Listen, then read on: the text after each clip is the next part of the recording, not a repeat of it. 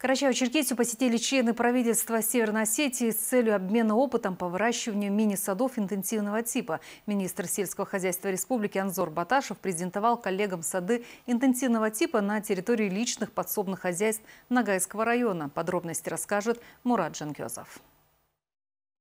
Кооператив под символичным названием «Алма», куда входит 25 личных подсобных хозяйств, в текущем году стал победителем конкурсного отбора и получил средства из республиканского бюджета на закладку и уход за садом. У людей, проживающих в селе, появилась возможность работать и зарабатывать на своей земле, занимаясь любимым делом. Не знал, что такая программа есть. Сын пришел, говорит, папа, вот такая программа есть, государство создало такую программу кто это придумал, спасибо ему, дай Бог ему здоровья.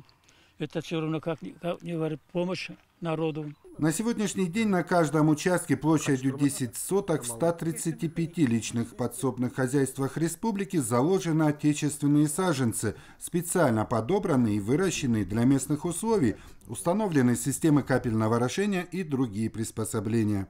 Первый год, когда э, у нас э, мы начали закладку, это был Урубский район, э, самый отдаленный район.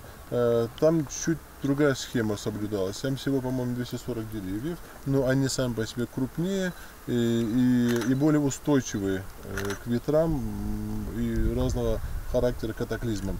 Э, соответственно, от, будет исходить, э, будем выбирать, когда будете выбирать район, надо будет, чтобы специалисты вам подсказали, какие деревья вам необходимо использовать, э, чтобы личные подсобное хозяйство могли рассчитывать на максимальную урожайность и, как, как говорится, поменьше проблем, чтобы не было.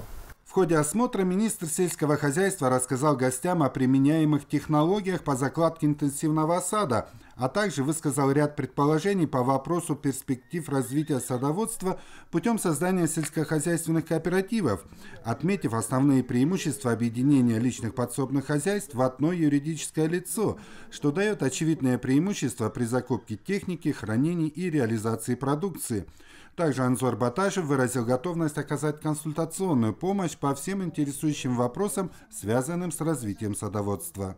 Это хозяйство наглядное.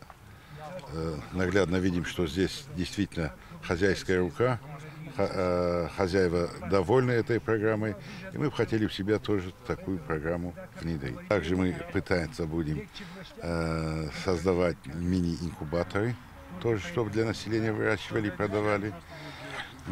Пчеловодством мы занимаемся, даем небольшие хозяйства создаем по пчеловодству.